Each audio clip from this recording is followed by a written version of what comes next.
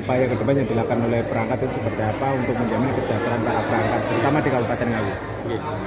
Jadi dalam kegiatan Harlah PPD ini waktu yang tepat kita untuk bersinergi dengan pemerintah Kabupaten Ngawi, baik itu Pak Bupati maupun eh, Wakil Bupati, Ketua DPRD, Pak Camat dan semua kepala desa. Hmm. Jadi kesempatan ini kita menyampaikan hal-hal yang mungkin perlu perbaikan. Yang dulu kita lakukan hal semacam ini biasa dengan demo, tapi dengan adanya PPD ini kita sudah tidak ada hal semacam itu. Mudah-mudahan tidak terjadi demo.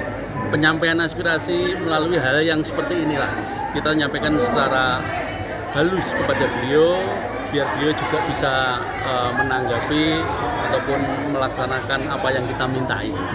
Kalau secara umum kes- kesejahteraan teman-teman perangkat sendiri seperti apa? Kesejahteraan perangkat juga sudah baik, namun ada beberapa hal, beberapa desa yang mungkin kaitannya dengan BPJS ketenaga kerjaan, dua program jaminan pensiun dan hari tua itu belum karena ter- apa, keterbatasan anggaran dari dana ADD sehingga kita minta untuk ditingkatkan supaya teman-teman itu bisa tercover semua dalam program BPJS eh, ketenagakerjaan, program pensiun dan hari tua. Termasuk nanti harapan kami lembaga desa baik itu BPD, RT, RW itu bisa tercover eh, jaminan sosial melalui BPJS tadi. Karena seperti yang kita ketahui bersama tadi, ada perangkat desa yang meninggal beberapa hari yang lalu, kemudian mereka mendapatkan santunan, santunan kematiannya 42 juta, santunan eh, untuk apa namanya beasiswa anak-anaknya yang masih sekolah di tingkat SD maupun di perguruan tinggi itu dapat santunan semua.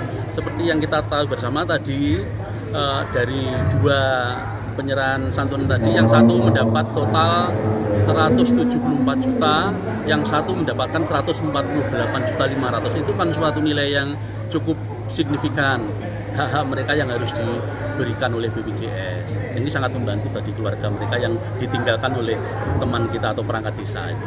Itu memang sangat penting ya keberagaman. Ya, itu sangat penting karena ya, namanya perangkat desa biasanya menjadi tolong eh, apa namanya? Tulang punggung keluarga ketika ditinggal meninggal otomatis ya tulang punggungnya sudah tidak ada namun juga ada bantuan dari hak dari BPJS itu kan sangat membantu sekali untuk melanjutkan sekolah anaknya, kuliah anaknya ataupun biaya hidupnya gitu. dengan harlah ini Pak Iya. harapannya kepada para anggota PPDI Ngawi ini seperti apa Pak? Harapannya kepada anggota supaya minimal kinerjanya jangan sampai turun. Syukur lebih ditingkatkan kaitannya dengan pelayanan masyarakat. Karena sudah biasa kalau perangkat desa itu bekerja tanpa batas ya. Jadi tidak ada ketentuan bekerja hanya jam kerja di luar jam kerja pun kita tetap melayani masyarakat. Yang namanya pem- eh, rakyat desa kan kebutuhannya semacam itu. Di luar jam kerja masih mencari surat butuh ini butuh itu, tetap perangkat desa kepala desa tetap siap melayani hal itu. Jadi bekerja tanpa batas untuk rakyat desa. Intinya begitu.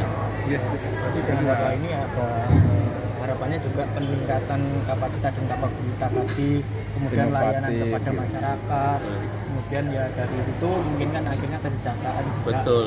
Iya. Jadi semuanya tercapai. Dari peningkatan pelayanan masyarakat juga tercapai, kesejahteraannya perangkat juga kita perjuangkan, termasuk bukan hanya kesejahteraan, kesejahteraan desa. Ini biar nanti pembangunan hal apa saja merata sampai seluruh desa di Kabupaten Ngawi ini. Gitu. Terima kasih.